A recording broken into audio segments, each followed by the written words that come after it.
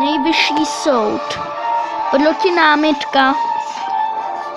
To není pravda, ale je. Máme důkazy. Trailer již brzy na vašich obrazovkách.